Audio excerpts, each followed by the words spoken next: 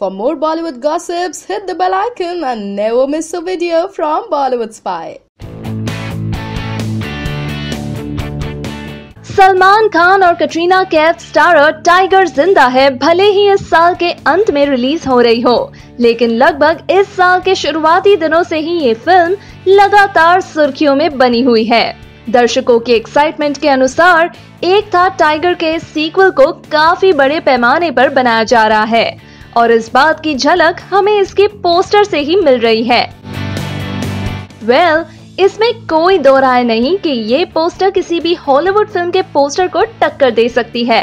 जिस तरह चोट खाए हुए सलमान और कटरीना दुश्मनों पर बंदूक ताने खड़े हैं इसे देखकर तो ऐसा ही लगता है कि टाइगर ज़िंदा है एक्शन से भरपूर होने वाली है। वैसे अगर आपको पता ना हो तो बता दे अली अब्बास ज़फ़र के निर्देशन में बनी ये स्पाई थ्रिलर 22 दिसंबर, यानी इस साल क्रिसमस पर रिलीज़ हो रही है।